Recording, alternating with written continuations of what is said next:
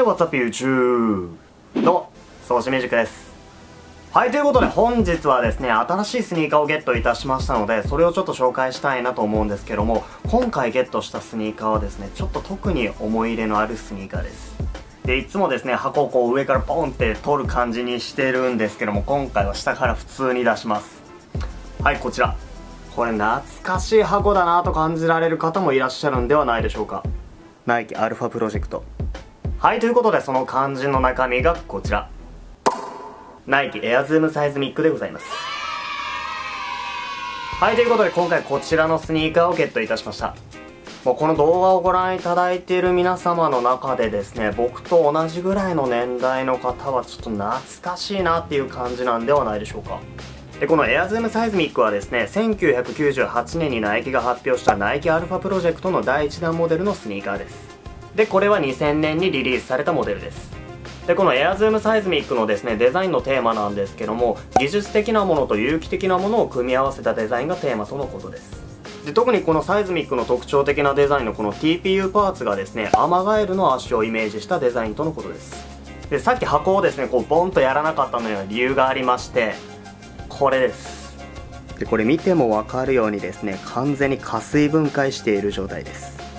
まあ、17年前のモデルなので、まあ、加水分解もしているし履けないっていうのはもう分かった上で買ったんですけどもこれを買ったのにはですね先ほどもちょっとお話したんですけどもちょっと理由があるんですよ。でこれが発売された当時はですね僕は小学校5年か6年生ぐらいだったと思うんですけども友達はこれを履いていたんですよ。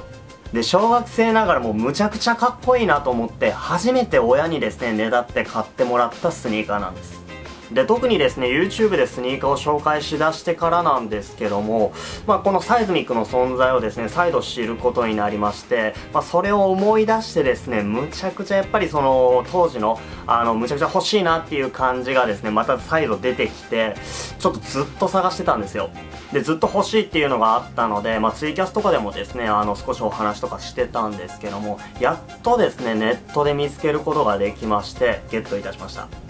はいということで早速いろいろ見ていきましょう。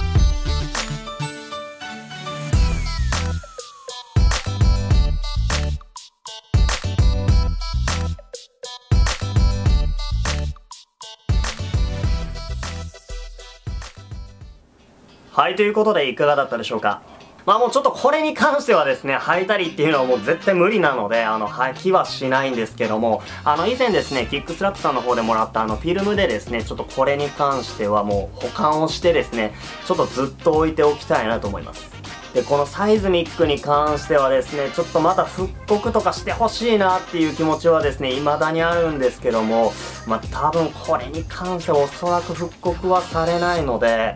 まあちょっともうこの状態でですね、なんとか保管しておきたいです。まあでも YouTube でスニーカーを紹介するまではですね、多分絶対買わなかっただろうし、あの、思い出すこともですね、なかったと思うんですけども、再度思い出してですね、やっぱこう見てもですね、やっぱ未だにやっぱかっこいいな、ちょっとまたこの新しい、新しいというか、あの、綺麗な状態でですね、欲しいなっていうのは、えー、ちょっと未だにあります。